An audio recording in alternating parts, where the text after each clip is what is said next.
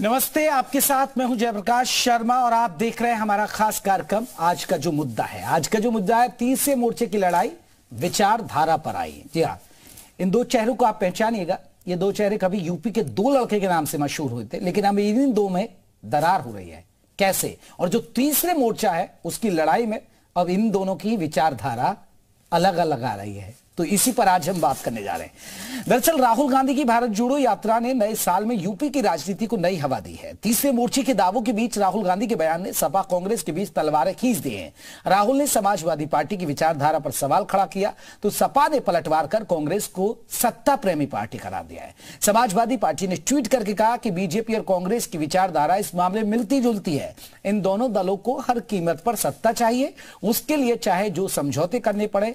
इससे पहले सपा अध्यक्ष अखिलेश यादव कांग्रेस की भारत जोड़ो यात्रा में शामिल होने से भी साफ़ इनकार कर चुके हैं। अब सवाल है क्या ये अपने घर के पास सिर्फ़ देसी मुर्गियों को पाल कर हर साल छह लाख कमा रहे हैं? आप भी ये करना चाहते हो? तो फ्रीडम ऐप को अभी डाउनलोड कीजिए। 2024 बीजेपी के खिलाफ खड़ा होने वाले तीसरे मोर्चे यानी नए साल के शुरुआती हफ़्ते में ही बैठ गया है। राहुल अखिलेश के बीच छिड़ी जुबानी जंग ने फिर से बीजेपी को मौका दे दिया है। लेकिन तीसरे मोर्चे की जो हवाएँ चल रही थी जहाँ नीतीश, अखिलेश यादव, ममता बनर्जी तमाम दलों के आने की बात हो रही थी, लेकिन उसमें लगता है कि यूपी से रोड़ा अटक जाएगा। और समाजवादी पार्टी और बीएसपी की जो है स्थिति, उसको देखते हैं। और खासकर कांग्रेस और सपा में जो अब जुबानी जंग छिड़ गई है, उससे लग रहा है कि अब तीसरे मोर्चे की हवा हवाई बातें कहीं फिर हवा साबित ना हो जाए। राहुल के बयान पर देखिए, सपा का पलटवार आ गया लेकिन समाजवादी विचारधारा संविधान का पालन करती है। हाँ कांग्रेस की कोई विचारधारा है कांग्रेस वैचारिक पार्टी नहीं है, सत्ता प्रेमी दल है। भाजपा और कांग्रेस की विचारधारा इस मामले में मिलती जुलती है। इन दोनों दलों को हर कीमत पर सत्ता चाहिए।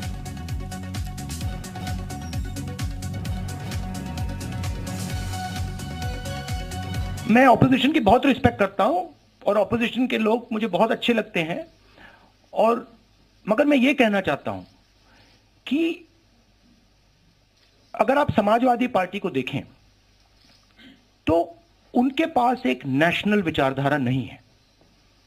वो यूपी में ज़रूर उनकी पोजिशनिंग है और उसको उन्हें डिफेंड करना है, शायद उसलिए ना आए। बट नेशनल विचारधारा नहीं है। समाजवादी पार्टी का आइडिया केरला में नहीं चलेगा, कर्नाटक में नहीं चलेगा, बिहार में नहीं चलेगा। ठीक है? तो एक सेंट्रल आइडियोलॉजिकल फ्रेमवर्क स्ट्रक्चर की ज़रूरत है, वो कांग्रेस पार्टी ही दे सकती है। वहीं डिप्टी सीएम ब्रजेश पाठक ने तीसरे मोर्चे की सुगबुगाहट को लेकर क्या कहा वो सुनाते हैं आपको। पहले ही कहा था, तीसरे मोर्चे की परिकल्पना नवासी के बाद से ही समाप्त हो गई है। और उस समय जो दल इकट्ठा हुए थे, उनकी जो दशा हुई है, वो देश और दुनिया ने अच्छी तरह देखा है। इस मामले में भी चाहे जितने भी विरोधी दल उत्तर प्रदेश में जो काम कर रहे हैं, बुरी तरह से खिलाफ हैं, जनता ने नकार दिया है। समाजवादी पार्टी के शासनकाल में गुंडई, अराजकता, माफियावाद बहु बेटी की इज़्ज़त, आबरू खतरे में, व्यवसायियों का उद्योग खतरे में। अब कोई भी व्यक्ति नहीं चाहता है कि सपा सरकार में रहे। इन लोगों ने हमेशा अराजकता को बढ़ावा दिया है। भारत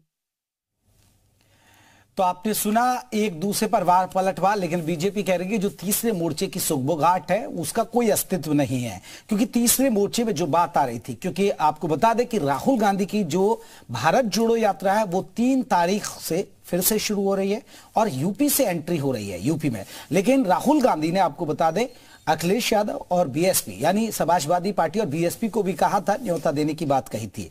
लेकिन उसके बाद जो चीज़ें निकल कर आई, राहुल गांधी ने समाजवादी पार्टी पर सीधा हमला बोला। राहुल गांधी ने साफ़ तौर पर कर दिया कि जो समाजवादी पार्टी की विचारधारा, वो नेशनल विचारधारा नहीं है, यानी राष्ट्रीय विचारधारा नहीं है, और इनकी जो विचारधारा, वो कर्नाटक, बिहार या दूसरे राज्यों में नहीं चल पाएगी, वो सिर्फ़ सीमित है और सीमित है यूपी तक। तो ये एक बड़ी बात कही है और इसी पर अब वार पलटवार की राजनीति तेज हो गई। आपको बता दें, इसी पर अब समाजवादी पार्टी ने भी पलटवार कर दिया है। श्रीवास्तव है हमारे साथ कपिश श्रीवास्तव जी जुड़ गए समाजवादी पार्टी के प्रवक्ता है। कपिश जी, आपका बहुत बहुत स्वागत है। हमारे साथ आपको बता दें, अशोक पांडे जुड़ गए, प्रवक्ता है बीजेपी के। आप दोनों खास मेहमानों का बहुत बहुत स्वागत है। अंशु अवस्थी, प्रवक्ता कांग्रेस, वो भी हमारे साथ जुड़ेंगे जैसे वो हमारी चर्चा में शामिल होंगे, उनको हम चर्चा में शामिल करेंगे। सर, कभी कपिश जी यूपी के दो लड़के थे। अब यूपी के दो लड़के खूब साथ चले रोड शोज़ किए। दोनों की अब विचारधाराएँ अलग है। आपकी नेशनल विचारधारा है नहीं इसलिए आपको आप वो साथ नहीं जोड़ेंगे।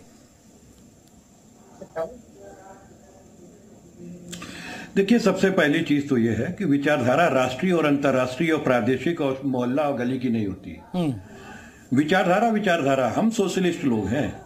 हम समाजवाद में विश्वास करते हैं कि एक जैसी सबको व्यवस्थाएँ मिले और एक मनुष्य होने के नाते गरिमापूर्ण जीवन जीने का अधिकार सभी को।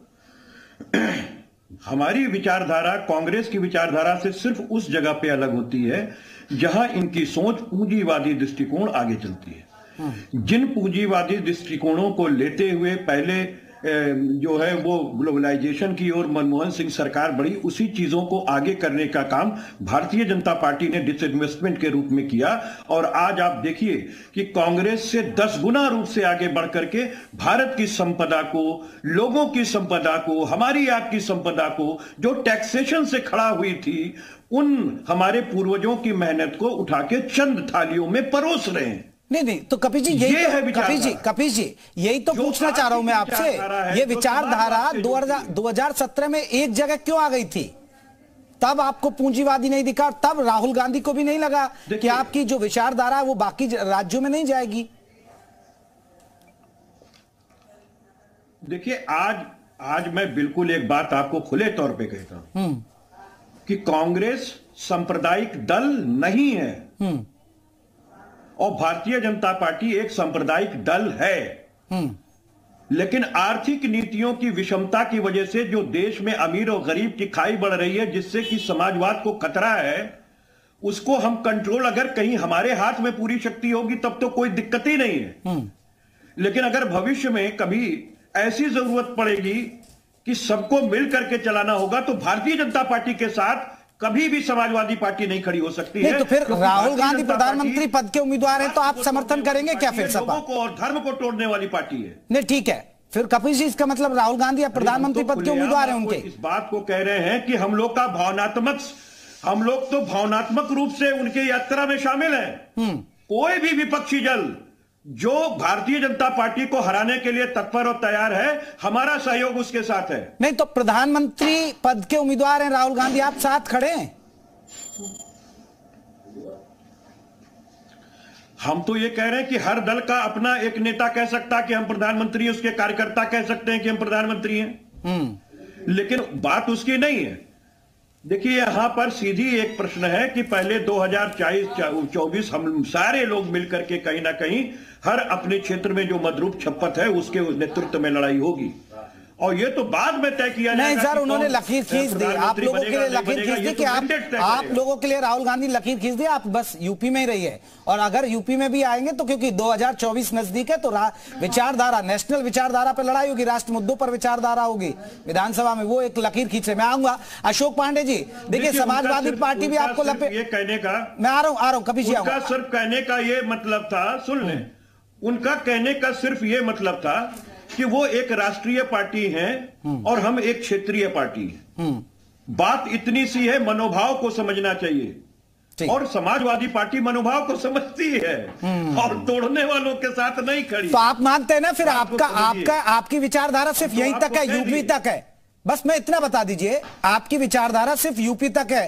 कर्नाटक और बिहार में ये तो फॉर्मूला नहीं चलने वाला आपकी विचारधारा का। बार बार कह रहा हूँ बार बार मैं कह रहा हूँ कि जहाँ हमारी पार्टी है वहीं पर तो हमारी विचारधारा है ना?